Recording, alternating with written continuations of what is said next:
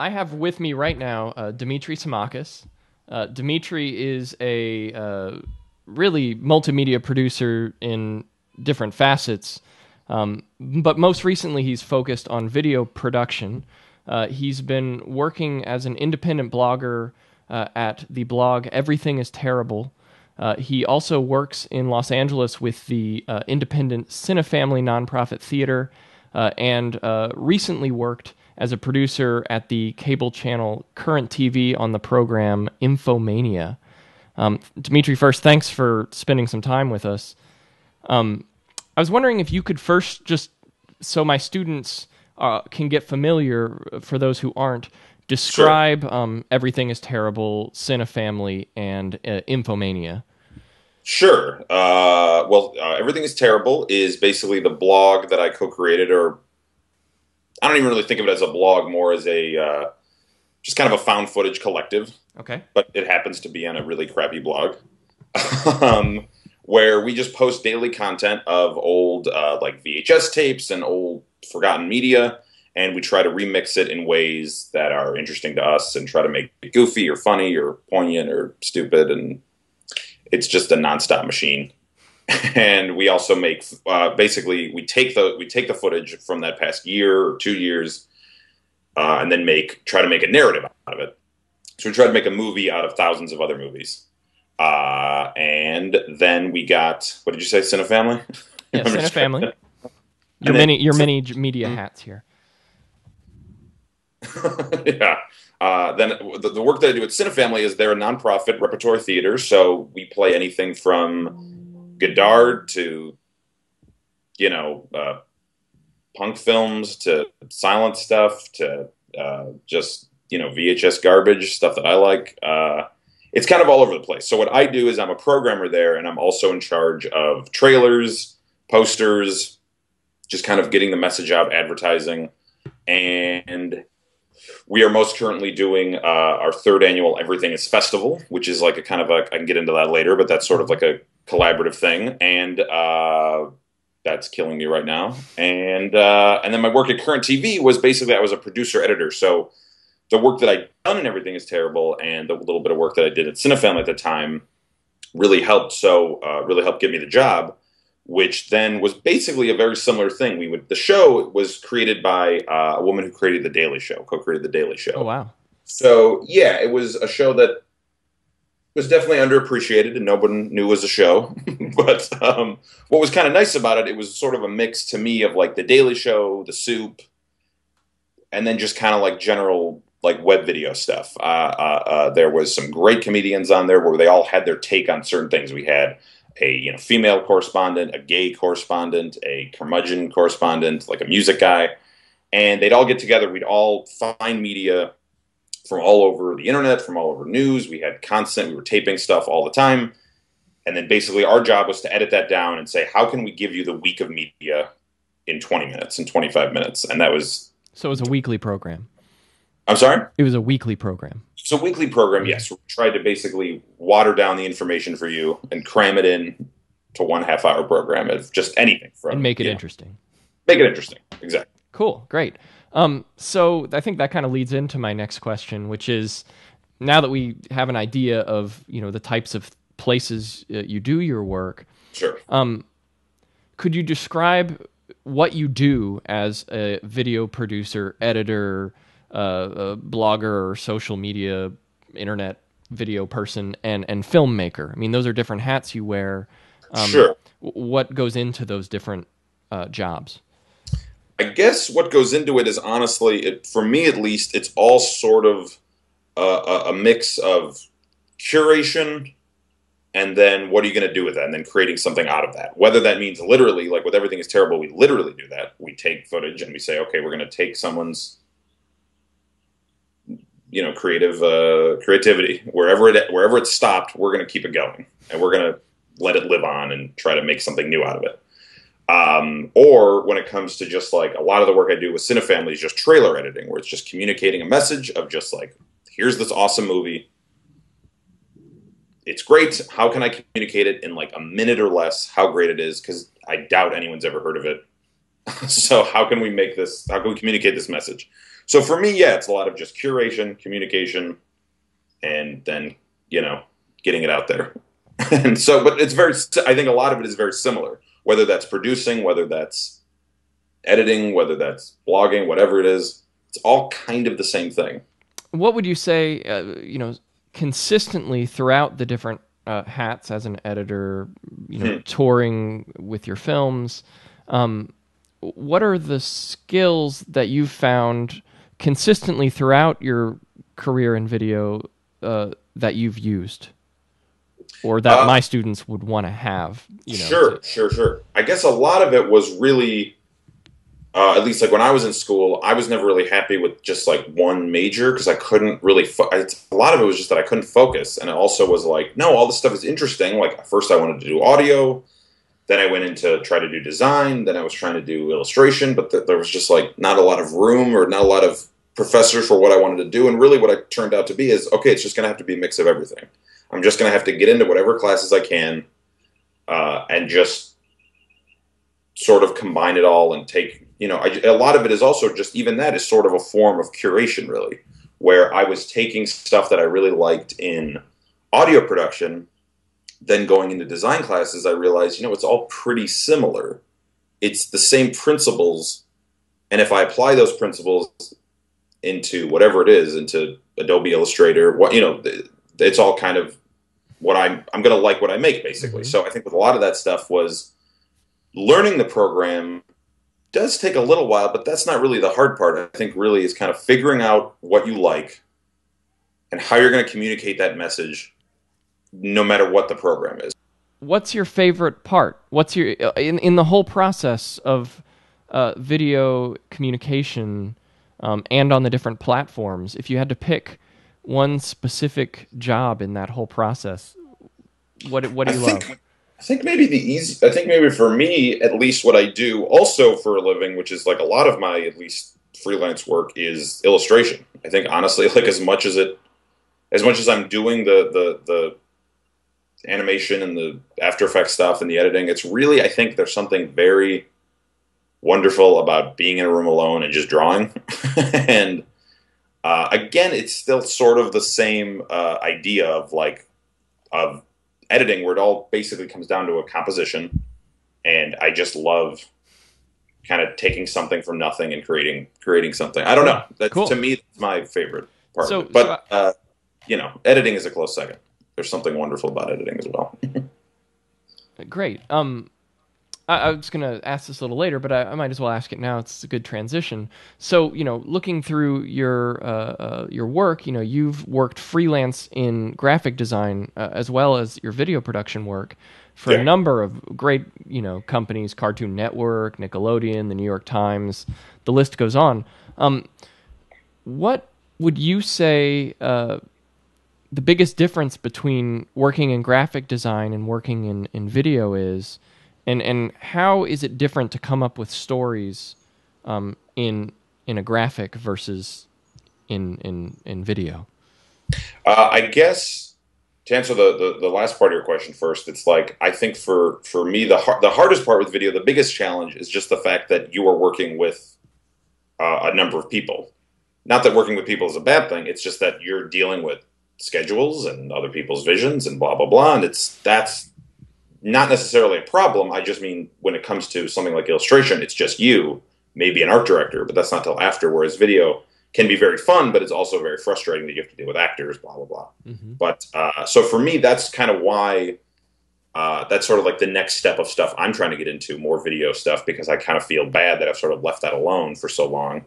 But um, uh, but really, the biggest difference is I think uh, as far as wait, were you saying what was your question? As far as uh, so so how how does um you know how do you come up with stories? So, so, what you just answered, I think, covers pretty well how they differ, and that's very similar to um, an answer that uh, when I did an interview with an audio producer, you know, I, I, asked what's the difference between working in a studio and working on your own thing, and he said, working in a studio is so much about managing people, and it sounds like, you know, yeah. maybe between between video and, and graphic work, that working with people element is is way different. But how how do you um, come up with the stories differently even in your sort of um, more Yeah. personal work, like everything is terrible, where maybe you're not working with a Yeah. collective of people, but when you sit down to draw versus when you sit down with all this footage, how is that Yeah. storytelling process different for you? I guess it's really not that different to me. I guess the thing of it is, I just like, I think at this point, you know, I'm 30 now, so I think I've just kind of like, I know what I think is funny, I know what I think is interesting, and I'm, I've also just been really focused on if I like something, I'm going to venture in it and just keep digging until I get sick of it. So I think with with illustration, for example, it's like, oh, if it's a poster or a uh, just something personal, to me, it's sort of like, okay, how can I sort of tell a story just with one image? It's probably going to be a little depressing. It's probably going to be a little creepy, whatever. But I don't even really think of it. Like I don't really go, oh, I have like a like a goal here. It's just like I'm just going to kind of let go, not really think about it. And then it's pretty similar with with with let's say for found footage for editing. So with everything is terrible, we have for the last movie we did, I mean, we had more footage than ever, and we hadn't seen any of it. We had to watch it first, as opposed to taking stuff from the blog. Uh, and it was all dog movies, which was a, some of the worst stuff ever made. So it was a very, very similar thing where it's like, okay, what am I going to do with all this? What story am I going to tell? Let me just sort of let go, watch it all, then see what happens. Just see whatever I pick up on, and then just dive in. So if I think something's funny, I'm just going to be become obsessed with it until it's not funny anymore. and it's pretty much the same thing with illustration or design or whatever. Mm-hmm. Cool. Um, so uh, thinking about uh, everything is terrible. Um, how did you get started working with that? What's what's sort of the story of the history uh, of getting that going? So with that, that was me and my buddy uh, Nick Meyer, who went to OU, and all my other buddies who went to OU. We were we were in Chicago collecting this stuff, and even in college, we were collecting and watching this stuff, and we kept thinking like, man, we got to do some of our own. This is so cool. Uh, we you know there was stuff out there that we liked, like TV Carnage, EBN, Negativland, and we really like focused on that a lot. Where it was like, no, there's something about this, but we didn't care at the time. We just kind of put it off. And then when I moved out to LA in 2007, I kind of felt bad that Nick and I, especially, hadn't been working together on video the whole time. We kept talking about it, doing comedy stuff, maybe doing whatever, but we didn't really like sketch. Con- you know, we were kind of sick of like that world of sketch, which we used to do. And then we said, why don't we just start communicating with each other, me and you and a couple other people, whoever wants to do it. We'll just start sending stuff back and forth, put it on YouTube, put it on a blog, I guess, whatever. And the goal, I think, was just to have one DVD where we could say, "Oh, if you don't know me, here's this DVD. Here's what I do. This is what I like." The end, whatever. Mhm. And then uh, about six months in or whatever, I don't really know how much long after, it started to kind of pick up attention, like on Boing Boing and BuzzFeed and Video Gum, and we realized, like, oh my god, this isn't an everyday. Th- this has to be an everyday thing. This isn't like a hobby anymore. This is sort of our job now. So with us and uh, uh, Katie, Nick, all these other guys from from OU, uh, we all just kind of kept going, and then it just it's like a machine now that just can't be stopped. That's really the only way to describe it. It's something completely out of our hands now at this point. How did you guys, as sort of a group of friends, um, doing a couple blogs, you know, t- t- after there was the success, and you were like, we need to start um, getting this as a day to day thing, and getting, you know, this is going to be our, our jobs, or it might be. Uh, how did how did it evolve? How did the your group evolve in your process uh, and sort of you know your structure? I think I think that's something actually we're honestly still trying to kind of figure out. Where uh, it's the hardest part about it is doing everything from across the country. So I think like five of the guys are in Chicago. Two of them are moving out to LA, but for the last four years they've been there. Uh, you know, Joel's been in New York. Uh, I've been in LA. It's been it's been frustrating. So I think that that is the biggest thing is how to communicate with each other from thousands of miles away. Uh, when it comes, especially when it comes to the movies, when it comes to the daily postings, it's all just kind of on its own now. We Mhm. sort of decided, okay, why don't we all pick a day once a week where you just make whatever. Like we're not going to tell you what to do or anything like that. It's just going to be just that's how we'll fill the content every day. We just at least have to have one video. We would like to have more, but honestly, I think that would kind of be overkill even and just too much work. Um, but we got, we've been getting a lot more help. There have been a few people who've been uh, came out of like the woodwork and just guys who are comedians, whatever, that have said like, "Hey, I'd like to edit a few videos." And some of them do it all the time. Some have been doing it every couple of weeks, which is amazing. So it's sort of still evolving. We're, we're, we're right now. I'm kind of treating it like an umbrella for everything else that we're kind of doing in that world. So it's like I love the fact that I get to do posters for it and sell, you know, screen prints and sell them at shows, and mm-hmm.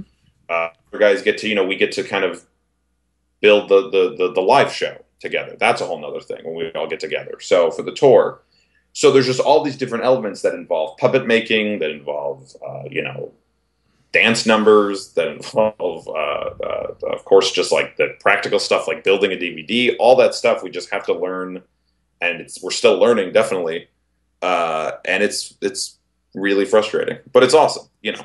So is it kind of um? Do you guys work as a collective and sort of ad hoc choose jobs to do?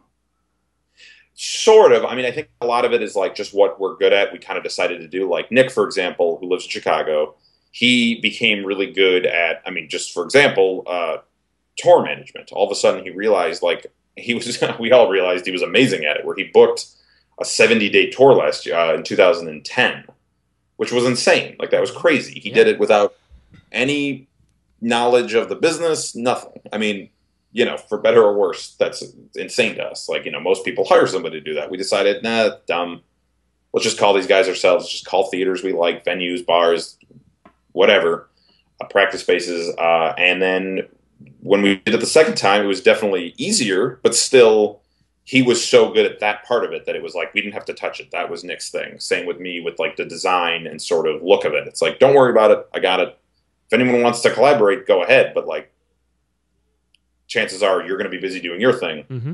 So, so it kind so of it, organically, the division of labor kind of just happened.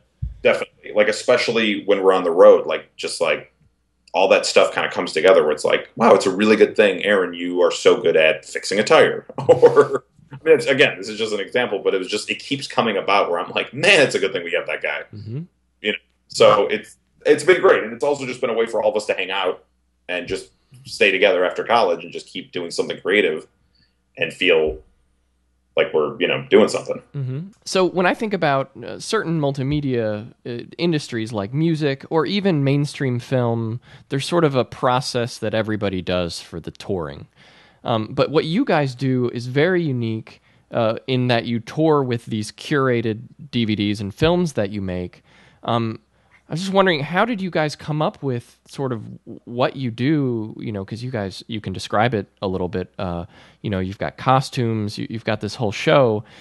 Um, you know, how did you come up with that, and what's it like to tour on these cross country, multi month trips with a film?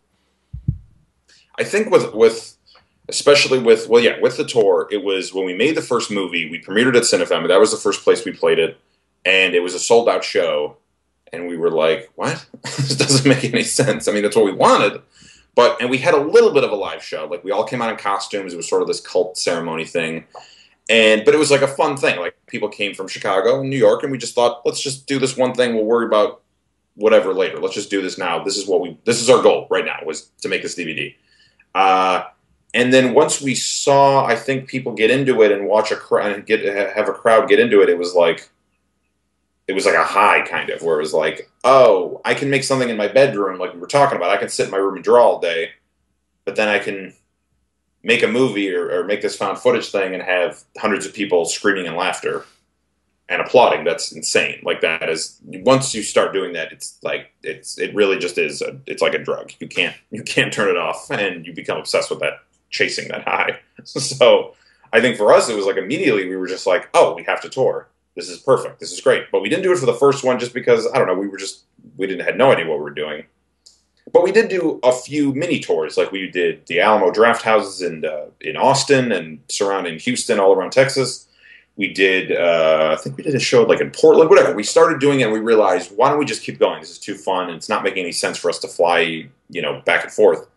So for the second movie, for Two Everything Too Terrible Two, Tokyo Drift, um, we at the same time, while we were finishing the movie, we were planning a tour, which was totally nuts. But you know, that was that was again, we had at least enough of us to sort of delegate work, but it was still crazy because we were finishing the DVD based on these deadlines of well, the DVD has to be done because the tour starts June second. So yeah. that was pretty complicated. But again, it sometimes deadlines really do force you to uh, you know, get your shit together, and that's important. So, uh, as much as we kind of hated it and hated each other during that time, I mean, that was very stressful for us to like make creative decisions on the fly, saying, "Well, the DVD has to be done in two hours, literally two hours. We need to get this done. We have to an editing decision. It's time to, you know, let go." Mm-hmm. So there was that kind of stuff. But in the end, I'm, I'm really happy with how that one especially turned out. I think that's been my favorite one. And so we decided it wasn't even that we decided we just couldn't help but tour. It was just like this doesn't make any sense just to make it and then not do anything with it or to try to sell it or whatever. Because that's the thing. I think because it's such a unique thing, uh, it's definitely got some copyright issues. Maybe you could argue that, uh, but no one's going to buy that from us necessarily. Maybe they will, but that's that wasn't our goal certainly. Uh, so we decided, well, the only way to really get this out there, aside from the blog, is to just literally hand it to people and give it to people. And that's just been so, so much fun. I wasn't on much of the tour last time because I was working at Infomania, mm-hmm. which was driving crazy watching how that tour evolved and what was happening. So then, uh, you know, I was on it for a couple weeks and that was great. But this one, from beginning to end, was just two and a half months, 75, like 74 shows in 69 days or something like that. And it was just such a blast. Like, just again, that high of. So, so do you get sick of the film? Oh, absolutely. Yeah, I'll never watch it again. Truly, yes. But it, in a lot of ways, it's kind of awesome that I got to watch it. I mean, I avoided it anytime I could. Anytime I could leave the room, if it was like a bar or whatever, I'd go outside. But there were certain times where we'd be literally stuck behind the screen, having to watch it in reverse. You know, image. Uh-huh. You kind of learn a lot about your process when you're watching something. I mean, it's not only that, that I watch it, you know, for probably about 50 to 100 times just during the editing process, but watching it another 75 times with totally different speaker systems, totally different, uh, you know, projectors every night, a totally different venue. Mm-hmm. And it's a really interesting way to be like, oh wow, I got to get better at this, this, and this. Like I think for I think for the for, for the newest one for Doggy Woggies Poochie Oochies, we were saying my big goal was make audio make the audio work because we are taking stuff from just horrible, horrible sources. And the last one, it's definitely noticeable. Uh, where it's where it's bad, it's bad. And when you play it on a big screen, it's like no one can hear that. We we we, we pretended that we could, but you can't. So I spent a lot of time just dealing with audio levels and just making sure over and over and over again it sounded great. You know, got studio monitors now. That was a big difference. And again, it goes back to just trying to be good at everything. It's just it all comes together moving away from the the touring aspect, uh, what does your schedule look like on a given day or week when you're not touring? Yeah, I think that's kind of that, what I like about that is that that's been very that's pretty much different every day. Where uh, I just have different clients, whether it's uh, American Greetings, I do a lot of greeting cards for them. Whether it's uh, other theaters like there's Cinespia, which is a huge. Uh, I was just there last night. We just did. That's like a, a big cemetery called Hollywood Forever. They do screenings in their cemetery for about four, four, five thousand people every week. That's crazy. So whether whether it's a client of illustration, I, for them I do trailers for Cinespia or for Cinefamily, whatever that is.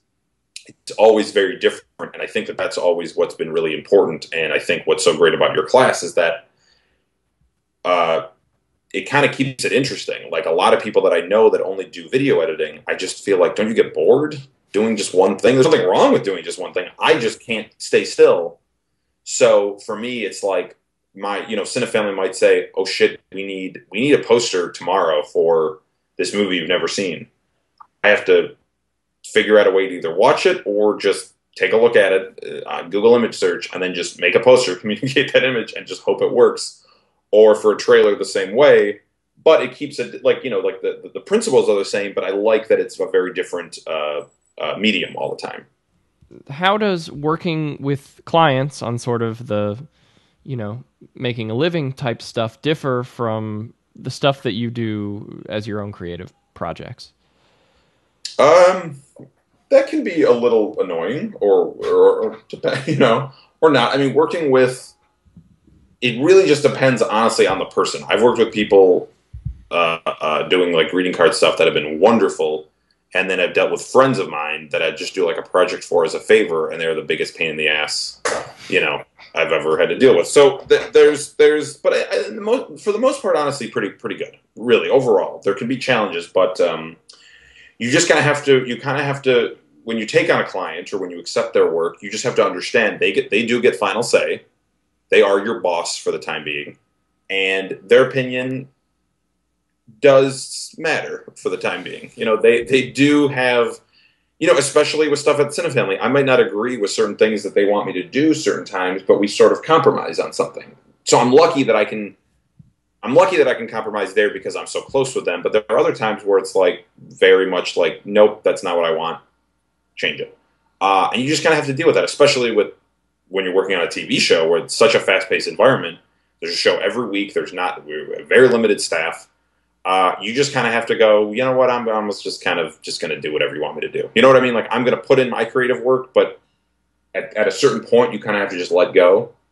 And uh, when it's a, and also when it's a paid job and it's not personal, it's kind of hard to take personally because it's a job. Sure. Yeah.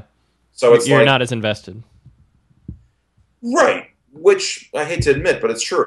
You know what I mean? If it's not something that you, but if it's something that you love to do in general, you can kind of get into it. Like when, when somebody wants a change on an illustration for a greeting card, I don't really get insulted. I'm just like, oh, that's cool. You had a different vision for this. You're still asking me to do it. You're not like, you're not firing me. You're not saying I'm going to get somebody else to do it. They're saying, nah, that's not exactly what I wanted.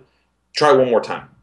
And um, again, I mean, that's where communication is important. And the more I communicate with my clients, the easier it is, really. Mm-hmm. Hmm. Um, so moving into more sort of technical stuff because our class by you know and a large portion is um, getting our ears wet with the technical tools Yeah. uh, what type of digital tools uh, software and hardware um, and, and analog if you use that as well uh, do you use most often I use okay, so my setup right over here is I have a, a Mac Tower that's all souped up. Then I've got the uh, Wacom 24 HD, it's called, which is this behemoth. It is this 70 pound beast of a screen that I use as a uh, drawing tablet. So it is it Yeah, it's is a- it's a tablet. pen- It's a tablet. Mhm. So I've I've been using Wacom stuff for a while, but this is the ultimate. This is like the Cadillac. This is the Rolls Royce of drawing tablets. It's unbelievable. I love it. Then I've got a monitor above it that's for output for video. Then as far as uh, you know, then I got two Rokit Eights. Then as far as speak, uh, then as far as uh, programs, I've got uh, the biggest ones that I use are Final Cut, Illustrator, Photoshop, After Effects, and MPEG Streamclip. Do you guys use MPEG Streamclip? it is a it is a conversion program that I'm using constantly. It's like a handbrake or something like that. sure it, Uh, it, it transcodes between the It formats codes. The amount of time you use with that program is unbelievable.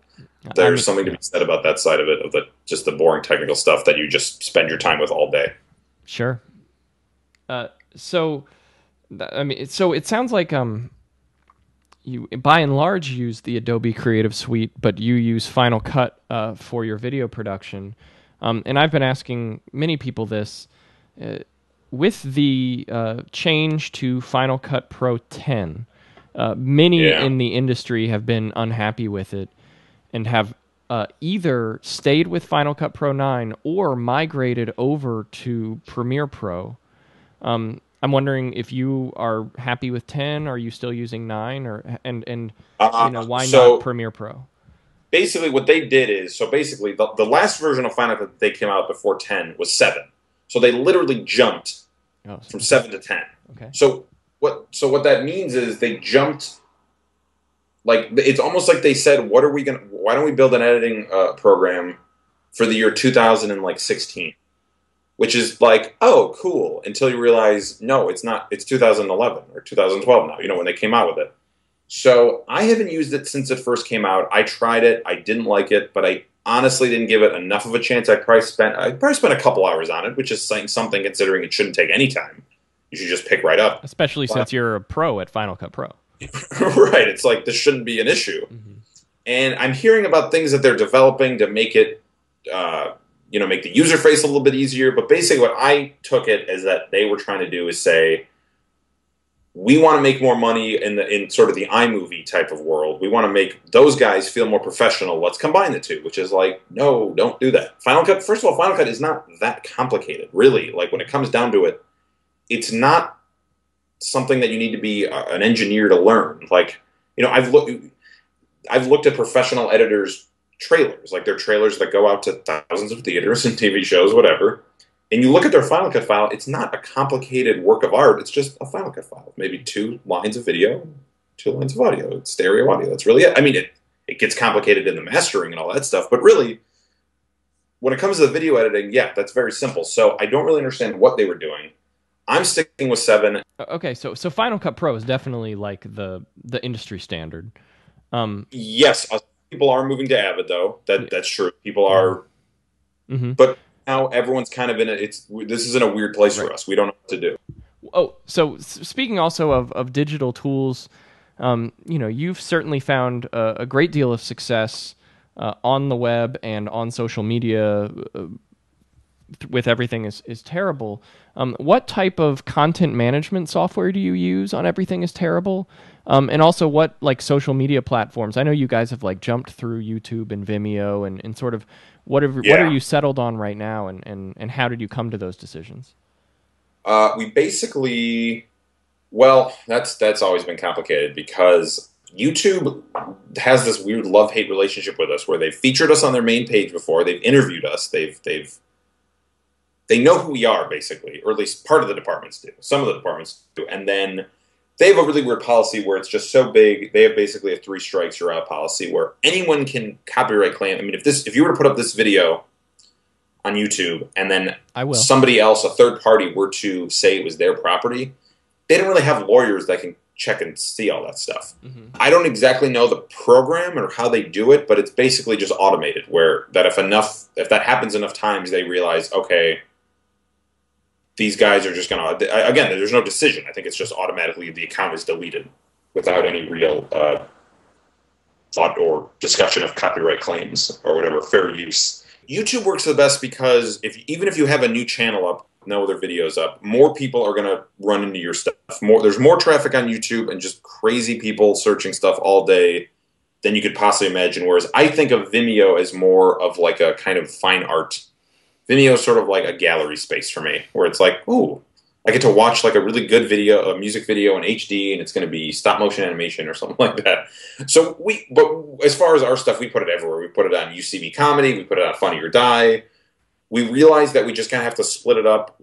For one reason, that's a good way to get your stuff out there and to get more people to see it who aren't just on YouTube all day it's odd how even in the past uh, like year, really, like in the past two years especially, how much Facebook has gone from huge to bigger than huge to like just so ubiquitous. It's, it's crazy. Like it's crazy how important Facebook has been to our success or whatever you want to call it. It's been uh, from just putting. I mean, I use it more than anything. Facebook is probably the most important uh, social media uh, uh, aspect of what we do more than the blog actually because our hits now go go down uh, on our Google Analytics of our blog, but our videos stay around the same. Sometimes they're actually way more even because people are watching them on Facebook, not on your site. Watching on Facebook, no one's going to. It's weird how there was that article in Wired last year about how the web is dead.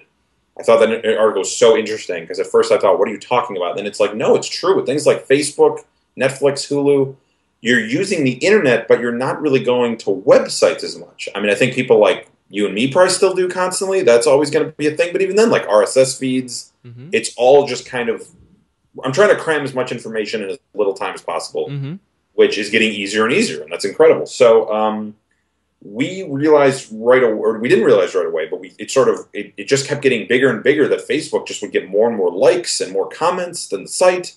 And of course, that's still where we post everything. But I you know, Blogger, I mean, we just did that on a whim because that was what there was at the time. We didn't, I don't know, we didn't know about Tumblr. I don't even know if Tumblr existed then or if it did, we didn't care.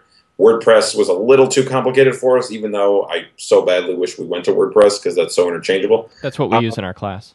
That's good. WordPress is the way. to me, it seems like the way to go, just because it's so open ended. But um, yeah, that's something that lately I just cannot believe how much Facebook, especially on tour, between that and Twitter. But I think probably more importantly, Facebook. You're at work all day. You're in front of your office. You're at school. You're in front of your computer. You just want a constant update. You're not going to go to everythingisterrible.com necessarily. A lot of people do. That's great. But a lot of people just want a feed that's just telling them, "Hey, we're in Spokane today." Uh, how have you seen video production and, and sort of multimedia storytelling change over the last decade uh, when you've been active? Uh, I think definitely it's it definitely has changed a lot. I think people's. I mean, I remember being in high school and people talking about the MTV style editing and how fast that was. I don't know if you've looked back at any MTV stuff in the '90s. It's the slowest stuff possible. It's like it's like cable access compared to what we have now.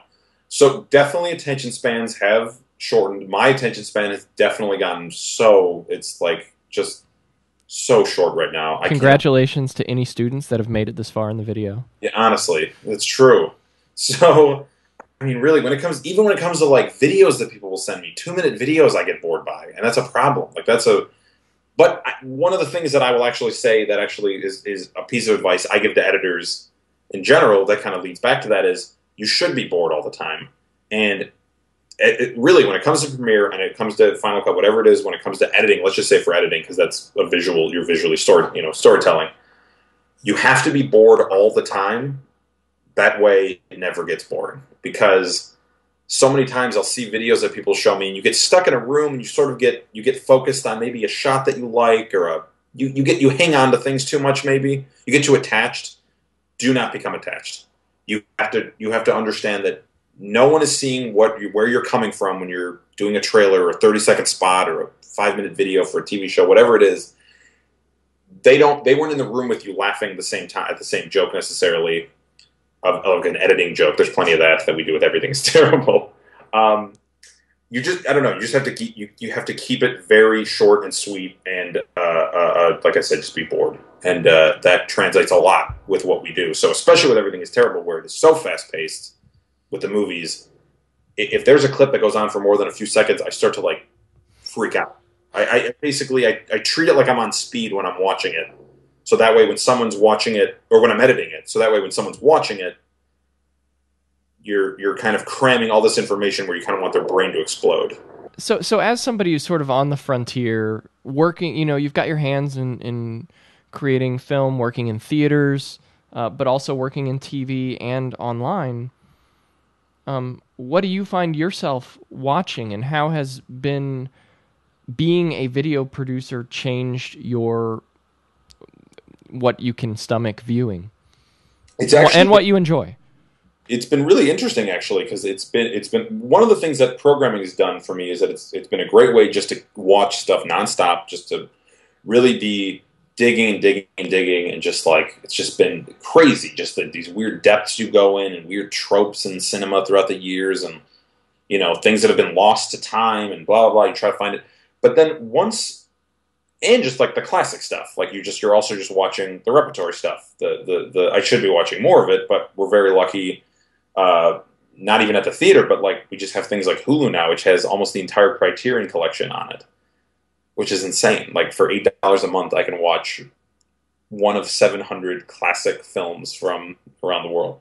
So, um, taking all that in, I'm constantly taking in media. It's nonstop. It's like I'm a junkie for that stuff, but it's pretty much specifically movies and old TV. Uh, so I don't really, but, but, not through cable. It sounds like I don't even have cable anymore. I barely actually watch a TV itself. I have a projector in my office here. I've got a whole setup of Western Digital box. I don't know if you guys all have that. That's my best advice as far as media equipment. Western Digital is like that TV live thing. Have you seen that? Yeah, I know. If I could, if I could advertise for them, I would. I would like do advertising for them. Um, so I'm just constantly downloading and getting stuff from eBay and iOffer and Amazon and whatever. And uh, it's really helped. One of the ways it's really helped is sort of uh, for filmmaking. Like the, the times that I have made like the, the music videos that I've done or the original stuff that we've done, it is so easy to make it because of the thousands of hours I've spent watching that stuff, where I'm even going through movies that I've either seen a hundred times or that I've never seen before, trying to make a trailer for. So you were literally just skimming through it in Final Cut, going, "That's a good shot. That's a good shot. That's a good." okay, okay, okay. What is the and then and then doing that, going, okay, what is this movie about? What is the mood like? Okay, it's kind of dark. Okay, I'll use a Joy Division song. That seems appropriate. Okay, so a lot of it's kind of guessing and in a hurry, but also it it it really helps me when it comes to original content of just saying this is so easy. Just I'm breaking it down like that. I'm thinking of it already as a finished product, and me running through it a hundred times at a hundred percent or a thousand percent. Does that make sense? Mm-hmm. Where I'm already just sort of looking at it from the future, kind of like an, it's almost like an out of body experience, where it's like, okay, what is what is the actual output of this going to be? Is that going to read? I've seen a million things that don't read. Sounds not, like this goes back to the attention span, where you're already thinking about the next thing and sort of.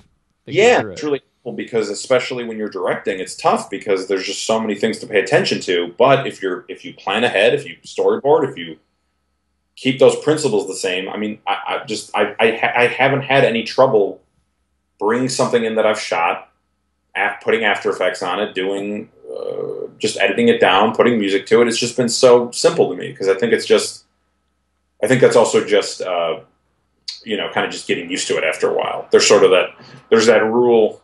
I can't remember who thought of it, but I talk about it. We've been talking about a lot at the theater of sort of what do these masters have in common? Like you know, like a Bob Dylan or a John Coltrane or whatever. And it's like, oh, they all studied for at least ten thousand hours. There's this ten thousand hour rule, and I don't know how many hours I've spent at editing or doing what I'm doing, but it, after a while, it just does become just like a reflex where you don't even really think about it anymore.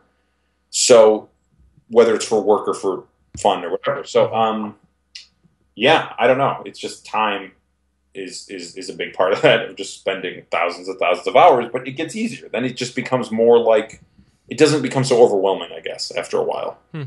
What yeah. other steps do they need to take to be able to to to to get the foot in the door in the industry? I think you just need to really be self motivated and really uh, kind of competitive with yourself. Like you just need to know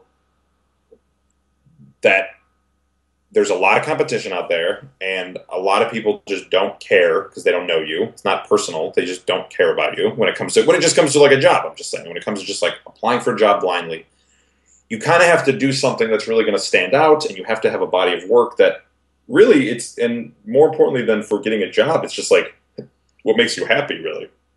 So if you're here now, like if you're in this class now,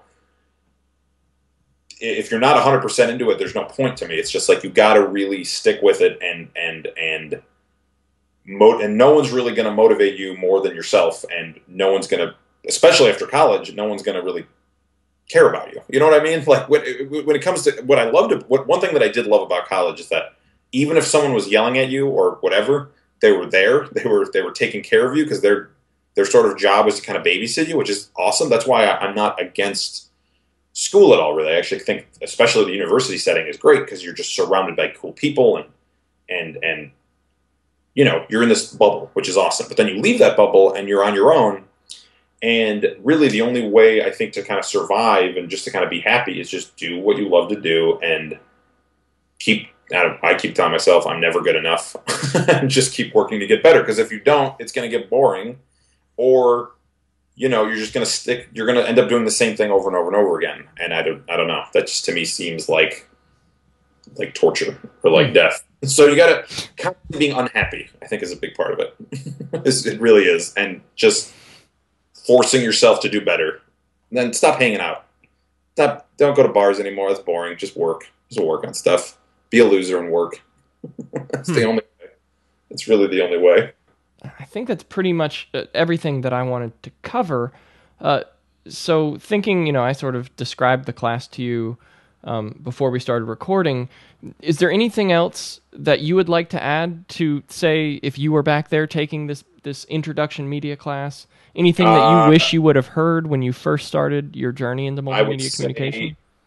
I would first of all say that you're very lucky, really, because I mean, I know that things are going to change even in the next like five years when these students are my age or whatever, the next however many years. But like, really, it's amazing. We've got YouTube, which is essentially the Museum of Radio and Television. We've got Hulu, which is the Criterion Collection. We've got Netflix.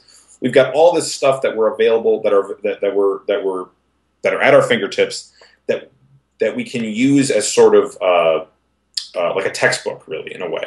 So it's really interesting to me to, that whenever you watch something, don't just watch it. Like take it in, realize what you like about it, and really focus on that. Otherwise, you know you're just going to enjoy it for what it is and that's fine but you're you kind of have to go a step above that that's why you're mm-hmm. here that's why you're in this class probably that's probably what you want to do is take it that step beyond and that's really involves just saying i have to be good at everything i have to be i just i have to study everything there are too many there are just too many people that i know in college that that when they were in college they they um they kind of delegated work to other people and i just think that's really silly i just think that's that's great. I mean, essentially, uh, uh, you come to a point where you can only do so much as one person. That's totally understandable.